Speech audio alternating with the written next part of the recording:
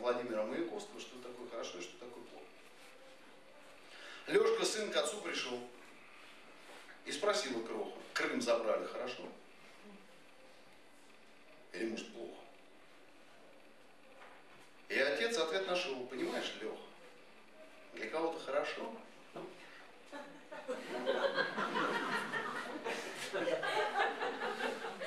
Кому-то наплевать, так бывает тоже. Не грузись, ложись в кровать, сын любимый Леша.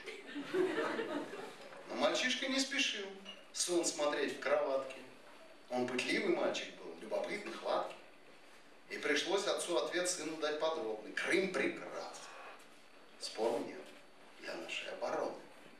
А для обороны стран под эгидой НАТО то, что Крым без боя сдан, это плохо.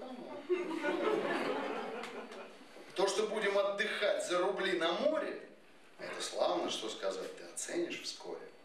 Только то, что хорошо для меня и мамы, отвратительно нашел кабинет Обамы. Начала Москва наглеть, перешла в атаку, перестала в рот смотреть славному бараку. А когда не смотрит в рот псевдодемократам независимый народ, негру плоховато. Будут санкции вводить, станет жизнь дороже. Так что если рассудить, мы попали тоже. Европейцам нужен газ южного потока. Так что то, что Крым у нас, для Европы плохо. А для жителей Керчи или Балаклавы из России калачи это очень славно. Киев визами грозит, собирая крохи. Рухнет газовый транзит, будет очень плохо.